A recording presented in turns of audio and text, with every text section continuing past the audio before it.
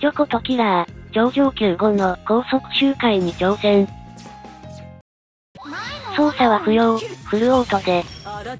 以前はフェリの奥義によって時間のロスが発生。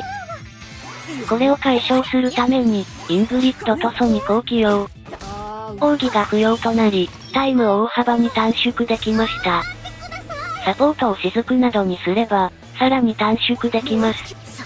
私は経験値第一なので、